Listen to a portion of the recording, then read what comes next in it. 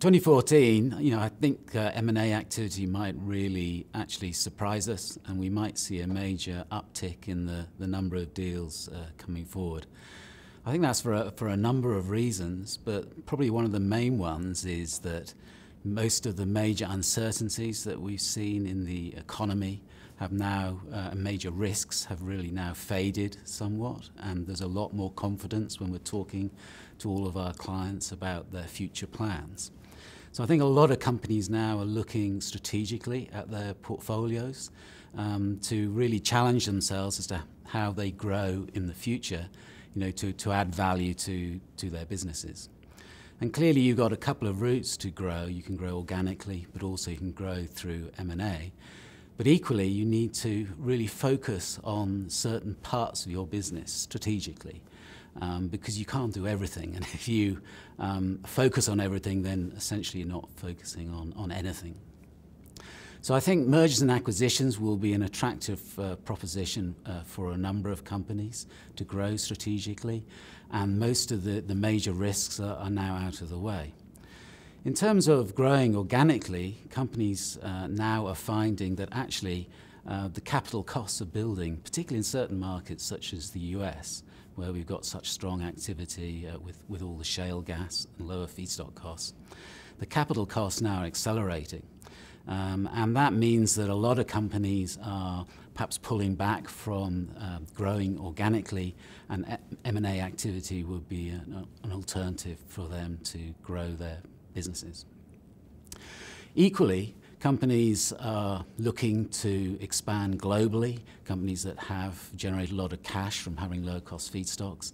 And one of the ways they can do that, again, is through mergers and acquisitions, potentially to buy into a, an end-use market um, which they're not in already as a market entry mechanism, but maybe also to get their hands on particular technology uh, or supply chain uh, advantage.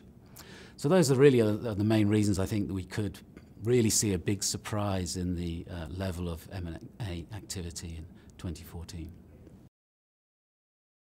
You know, the type of buyers that we're going to see are perhaps going to be much more strategic uh, than private equity. Uh, there are really a couple of reasons for this. Um, in terms of private equity, you know, that private equity companies are really trying to, to buy assets uh, at the bottom of the cycle. And if you look at all of our forecasts and expectations for 2014, 15 and 16, we are forecasting an uptick in margins around the world as growth comes back into economies, uh, demand increases, and there has been a, a pause in, in people building assets um, during the, the recent downtime. So I think for private equity, the, the cycle timing is perhaps not right for, for major plays. I think private equity might buy smaller companies uh, which fit within a, uh, fit with other assets that they already own if they do do deals, and we've seen some of those uh, in 2013.